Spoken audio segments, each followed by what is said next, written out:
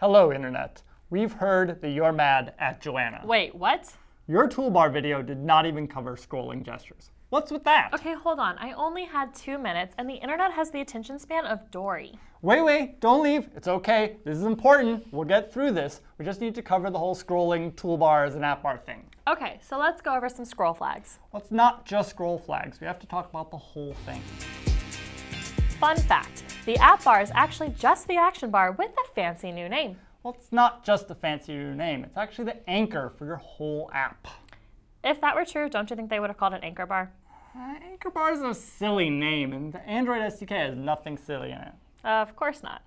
But anyway, you can customize your app bar if you choose to use a toolbar instead of the standard framework choice. Thanks, Ian. You're welcome. Like I explained in my DevByte. It's really good. You should wa- go watch it. Aw, thanks, Ian. But it doesn't actually answer the question. Where's the scrolling magic? Well, it's an app bar layout, of course. But you're right. I still haven't talked about scrolling gestures. You're right. You should probably talk about it. It's kind of a big deal. Okay, so I was just about to.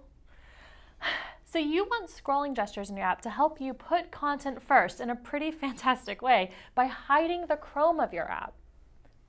Okay, so when you decide to use an app bar toolbar, you'll need three hmm. things. The first is a coordinator layout on the top. Thanks, Ian. You're welcome. And then you need an app bar layout containing the toolbar. Thanks, Ian. You're welcome. And finally, you want your main hmm. scrollable content, such as a Recycler view.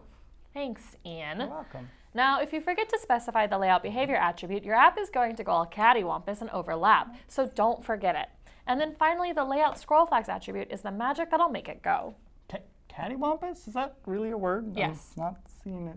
Well, if it wasn't a word, I would not have said it. I believe her. So what do these scroll flags actually do for your app? Well, so values like scroll indicate that the, the whole thing will scroll off the screen. And then enter always indicates that it will return as soon as you scroll back. Wow. The quick return pattern. It's actually a very common pattern. Precisely. So hopefully that helped clear up some of the thanks scrolling magic for all of you eager developers. Thanks, Ian. job.